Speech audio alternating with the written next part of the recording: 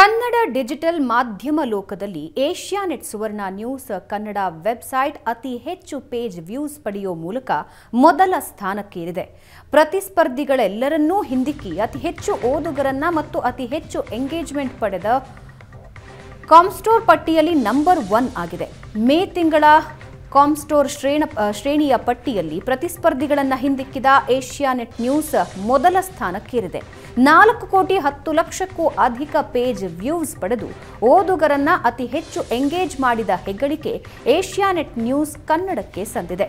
ವೇಗದ, ನಿಷ್ಪಕ್ಷಪಾತ, ಖಚಿತ, ಪರಿಪಕ್ವ ಮತ್ತು ನೇರ ವರದಿಗಾರಿಕೆಯನ್ನ ಮತ್ತು ಲೇಖನಗಳ ಮೂಲಕ ಏಷ್ಯಾನೆಟ್ ನ್ಯೂಸ್ ಕನ್ನಡ ವೆಬ್ಸೈಟ್ ಕರ್ನಾಟಕದ ಮನೆಮಾತಾಗಿದೆ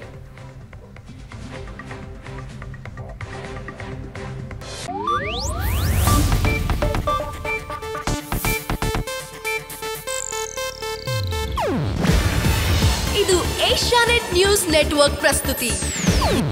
ನೀವು ನೋಡ್ತಿದ್ದೀರಾ ಏಷ್ಯಾ ನೆಟ್ ಸುವರ್ಣ ನ್ಯೂಸ್.